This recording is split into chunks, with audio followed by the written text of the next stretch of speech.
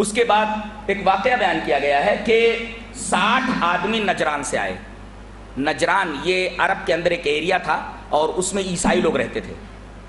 तो साठ आदमियों का वफद आया। उसमें अहम, अब्दुल मसीह और आकिब, ये तीन बड़े आलिम साठ आदमियों में से थे। आते ही उन्होंने नबी करीम सल्लल्लाहु अलैहि वसल्लम से मुनाजरे की बात की कि हम आपसे बहस करना चाहते हैं। कहा कि ठीक है, बैठो। कहा कि आप ये मानते हैं कि ईसा सलाम बगैर बाप के पैदा हुए? उनका कोई बाप नहीं था? अल्लाह के रसूल ने फरमाया बिल्कुल बगैर बाप के पैदा हुए।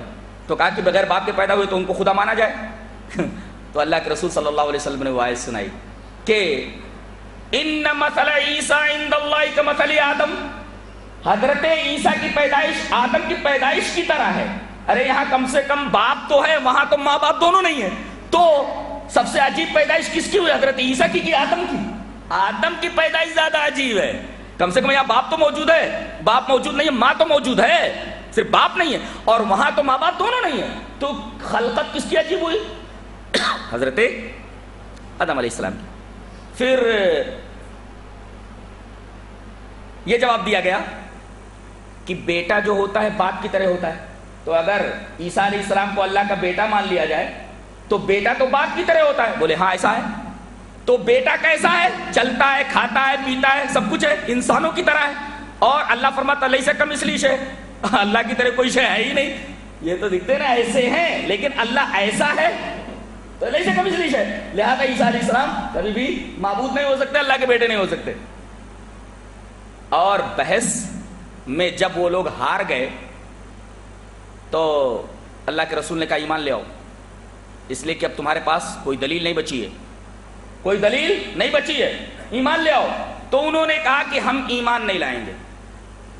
हम ईमान नहीं लाएँगे। तो अल्लाह के रसूल सल्लल्लाहु अलैहि वसल्लम फरमाया, मुबाहला कर लो। मुबाहला कब होता है? बहस के बाद। फरीकैन में दो ग्रुपों में बहस से अगर मसला हल नहीं होता है तो मुबाहले की ज़रूरत पड़ती है। मुबाहले में क्या होता है? हम में से जो झूठा है, उस पर अल्लाह की लानत। फनब तहिल फनज अल्लाहनतबीन आओ मुबाहला कर ले। मुबाहले में क्या होता है? दोनों फरीक ये कहें, हम में से जो झूठा है, उस पर अल्लाह की लानत। बस, मुबाहला खत्म। नबी करीम सल्लल्लाहु अलैहि वसल्लम ने मुबाहले की दावत दी। हज़रत अली को लेकर के फातिमा को लेकर के हसन और हुसैन को लेकर के रिजवान सबको लेकर के वादी में उतरे और कहा कि तुम साठ के साथ आओ मुबाहले के लिए डर गए तीनों पादरी डर गए और कहा कि सचमुच अगर ये नबी हुआ तो नबी से मुबाहले के बाद कोई ज़िंदा नहीं बचता। ये, ये है।